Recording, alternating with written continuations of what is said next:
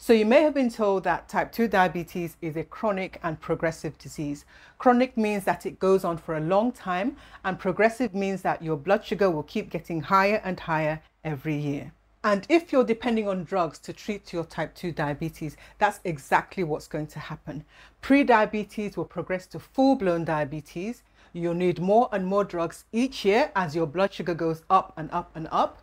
The drugs become more and more expensive and this is great news for the drug companies, but it's not so good for you. Fasting is an effective way to bring down your blood sugar, reverse your type 2 diabetes and pre-diabetes, and get off some, if not all, of your drugs. What happens when you fast? Fasting is not eating or drinking anything that contains calories for a certain period of time. And to understand how fasting can help with prediabetes and diabetes, you need to know what's going on in your body in these conditions. When you eat, your food is ultimately broken down into small chunks, glucose, fatty acids, amino acids, and these are absorbed into your blood. As your blood sugar goes up, your insulin levels also go up. Insulin tells your body to go into storage mode. So the sugar in your blood is first of all stored as glycogen in your liver and in your muscles. When these stores are full and you have excess sugar that you're not using immediately, this is turned into fat and stored in your fat cells. Your fatty acids that you're not using immediately are also stored in your fat cells. Your amino acids are used for repair and restoration. When you don't eat, everything starts working in reverse your insulin levels come down, the glycogen that was stored away for future use starts being broken down. When these stores start going down and become depleted, then and only then your body taps into the fats that you have stored in your fat cells. The problem is that over the years, we've spent more time filling up our fat stores than we have emptying them. So it's like filling up a bathtub or a bucket. You turn on the tap and you're filling up your tub. If you don't remove any water from that tub, the levels are going to keep getting higher and higher and higher. And eventually your bathtub is going to be so full that it overflows. And what happens? You'll have water everywhere. And this is what happens in your body. You keep eating foods that stimulate a lot of insulin production. So your insulin levels are always high. You're always in storage mode.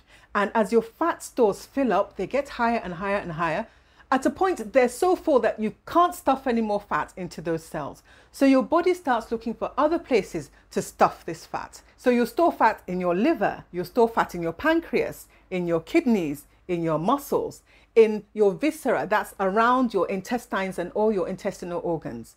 And fat is not supposed to be in these places. When you have fat in your liver, fat in your pancreas, fat in your kidneys, they don't work properly. They just can't do what they're supposed to do. And the fat inside your tummy, what we call visceral fat, that fat that's surrounding your organs, this fat produces toxins that are poisonous to your body and they increase insulin resistance, making your diabetes worse. So what's the solution? Stop eating. This way you can use up some of that fat that's stored in places where it's not supposed to be. So there are two problems you have in pre-diabetes and type 2 diabetes. That's insulin resistance and very high insulin levels. When you don't eat, your insulin levels come down. And seeing as your cells aren't being bombarded with insulin all the time, they gradually become more sensitive. And when this happens, your pre-diabetes, your type 2 diabetes is getting better. So what are some of the advantages of intermittent fasting to bring down blood sugar? First of all, it's free. You don't have to pay anyone to fast. You can do it by yourself. You don't have to buy any special bars or shakes or supplements.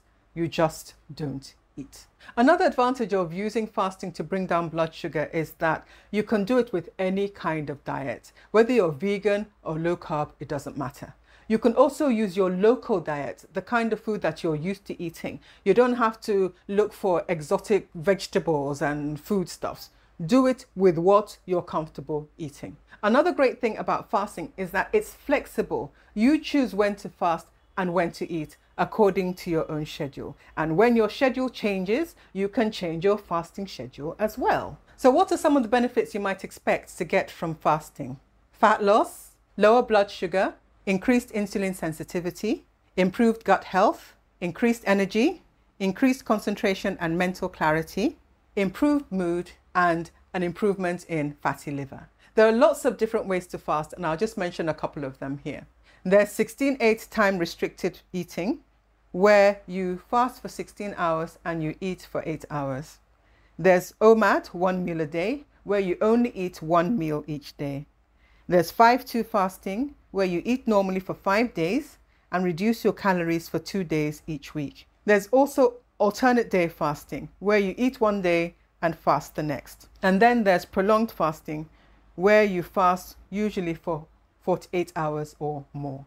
I'm going to concentrate on 16-8 time restricted eating for bringing down blood sugar for two reasons. One, if you're just getting started with fasting, it's an easy way to get into the fasting lifestyle, especially if you want to gradually progress to longer fasts. And two, you can easily fit it into your lifestyle. In this kind of fasting, you take your day, which is 24 hours, and you divide it. So you take 16 hours of your 24 hours, you don't eat anything during that time, and that leaves you with eight hours during which you eat. So hence the 16, which is your fasting window, and 8, which is your eating window, and the two together add up to 24. That's 24 hours in a day. So for instance, you could start eating at 12 noon and eat until 8 p.m. So 12 to 8 p.m., that's eight hours. Then from 8 p.m., you wouldn't eat anything again until noon the next day. That would be 16 hours. So you've eaten for eight hours and fasted for 16. So, how do you actually start fasting? If you're completely new to fasting, if you've not done it before, then I would suggest that you get into it gradually, slowly. This way, you'll minimize the side effects, the adverse effects that you may get from fasting, and this will encourage you to help you to stick to it so that you can make it part of your lifestyle. If you have type 2 diabetes, you may have been encouraged to eat three meals a day and have lots of snacks in between. If that's your starting point, then for one week, you're going to eat just three meals morning, afternoon, and night. No snacks in between.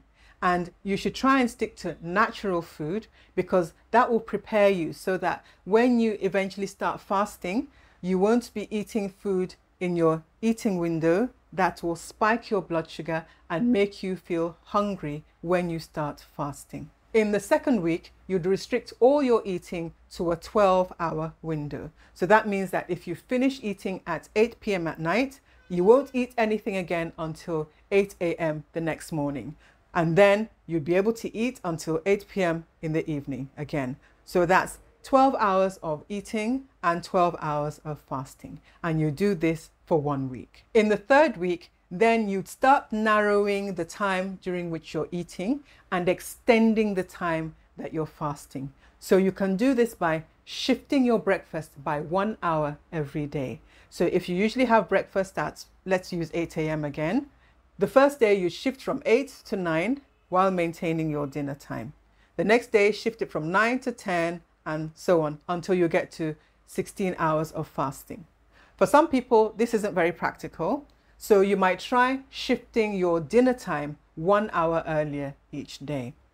If this still doesn't work for your work situation and your lifestyle, then you can just go ahead and skip breakfast, have an early lunch, and that will help to extend your fasting window. What should you be eating during your eating window? What you eat during this time is really important because it will affect how you feel when you're fasting. When you eat, focus on whole natural food food that will keep you fuller for longer. And that means eating a lot of protein, a lot of fiber, and natural fats. This would include vegetables, especially green leafy ones, and then fruits that won't spike your blood sugar too high. Things like berries, guava, and passion fruit. Drink milk, yogurt, eat cream and butter, meat, chicken, fish, eggs, and then stick to legumes like beans, peas, and lentils. Avoid foods like breakfast cereals and instant oatmeal, sugar in any form, including honey and soft drinks, foods made with white flour, like white bread, cakes, biscuits, pies, and others. Avoid fruits like bananas, mangoes, pineapples, and grapes. You can still eat rice, noodles, yams, potatoes, pasta, but reduce the quantities. What should you eat or drink while you're fasting? If you want to be really, really strict about the definition, the only thing that should be going into your mouth is water. But there are a few other things that you can take, especially if you're new to fasting, that can help you cope with hunger. So you can have black coffee or black tea, plain, or you can add one tablespoon of cream or milk, butter, coconut oil, ghee, or MCT oil if you start feeling hungry. You can also have green tea or herbal teas like peppermint tea, moringa tea. You can have some lime or lemon juice in water, either hot or cold. You can add two tablespoons of apple cider vinegar to a glass of water and drink that. You can also have some homemade broth or stock. That would be bones or meat or fish or above ground vegetables that are boiled and you drink the water from that. Avoid commercial pre-packaged stock and broths because they are full of all sorts of additives. And you might be asking, how long does it take to reverse diabetes and pre-diabetes? This depends on a couple of things. Number one, how long have you had it? Number two, how high is your blood sugar? And number three, how old are you? So it's really different for everyone. For some people, they may accomplish that in six months. Some people may take up to a year, some people even more than that. And you can speed up the rate at which you reverse type 2 diabetes and prediabetes by introducing exercise into your lifestyle and by using a low carbohydrate diet. Now we come to a very important part of fasting when you have type 2 diabetes, and that is the medication that you're taking, the drugs you're taking to lower your blood sugar. The drugs that were prescribed for you were prescribed based on your lifestyle, on your diet, on your blood sugar at that time. When you do anything to bring down your blood sugar by fasting, by changing your diet, by increasing your exercise levels, then you are changing that balance. So you have the same high level of drugs working on a lower blood sugar. And what's going to happen? The drugs are going to push your blood sugar so low that eventually you'll develop hypoglycemia. And hypoglycemia can push you into a coma and that might be so severe, so bad that you don't wake up. Some drugs are more likely to cause severe hypoglycemia. These would include insulin and sulfonylureas like Amaryl, Daonil, and Diamicron. Some drugs are less likely to cause severe hypoglycemia. These would include metformin or glucophage, DPP4 inhibitors like Januvia, Galvus, and Tradjenta, and SGLT2 inhibitors like Forxiga, Invokana, and Jardiance. If you're in doubt about how much of your blood sugar medication you should be taking on a fasting day, it's better to lean towards taking less than taking more. A slightly higher blood sugar of 8 to 10 millimoles per liter, that's about 140 to 180 milligrams per DL. This kind of blood sugar is acceptable, it's manageable in a situation where you're trying to avoid severe hypoglycemia from your drugs while you're fasting. And you should test your blood sugar two to four times a day, depending on the length of your fast, to make sure that you're not developing hypoglycemia. Signs of hypoglycemia include palpitations, where you can feel your heart pounding in your chest, shaking, sweating, dizziness, confusion, and extreme hunger. You need to be aware of these symptoms. You should have them in mind. And you need to tell your family, people around you, especially if you're fasting, so that they can help out if you develop hypoglycemia. If you start having any of these symptoms, break the fast. Eat something, drink something that has sugar in it. And in fact, even before you start the fast, you should have these things available in case you develop low blood sugar. And again, in terms of medication, fasting can lower your blood pressure over time. So at some point, you may need a review in your blood pressure medication to make sure that your blood pressure isn't dropping too low. You can take most other kinds of medications without any problems, but again, I would caution you need to discuss anything that you're doing with your doctor in terms of making adjustments to your medication. There are some drugs you have to take with food, like metformin, iron tablets, and so on. And I'll give you a few suggestions about what to do in those situations and what to eat that won't mess up your fast too much. You can take two to three tablespoons of chia seeds and put that in water. And what happens is that it swells up and forms a kind of gelatinous kind of glue-like mass and you can take that with your drugs. You can also eat half an avocado.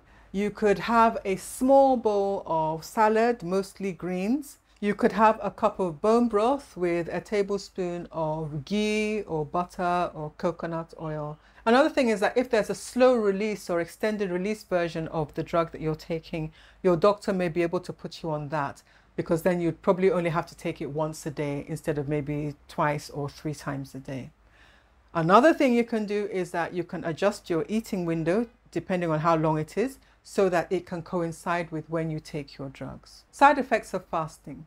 You're more likely to have these if you jump straight into fasting without preparing first. You may have dizziness and headaches, and the way to sort this out is to make sure that you're drinking lots of water, especially if you're drinking coffee, because coffee causes dehydration, causes you to lose more water. So you have to make sure that you're replenishing your water supplies. You can also take a pinch of salt and add that to a glass of water or to your tea or to your coffee and this will help with dizziness and headaches. If you're having muscle cramps, the salt will help with that and also taking magnesium can also help. If you're having constipation, you can try increasing the fiber content of your food by eating more vegetables, especially green leafy ones. You can try some psyllium husk in water, that will help. You can try some of these teas that have senna. A senna is a laxative and that can help to ease constipation. You can also try magnesium, particularly magnesium oxide. That helps with constipation as well. How do you break your fast? So you fasted for 16 hours and now you want to eat. What do you eat? You need to be careful with the first meal that breaks your fast because if you get it wrong, you'll end up feeling bloated and gassy for the rest of the day. During your fast, your body will have started adjusting more towards using fat for fuel rather than sugar. So the last thing you should do is to dump a whole load of sugar and starch into your system when your body isn't ready for it. It needs time to adjust. So to start with, your first meal shouldn't be too big. And second, you should eat more protein like fish, eggs, chicken, meat, and some vegetables. This kind of meal will stop your blood sugar from spiking too high while your body is still adjusting to burning glucose again. And to find out more about intermittent fasting and how to prevent blood sugar spikes when you're eating carbs, watch this next video.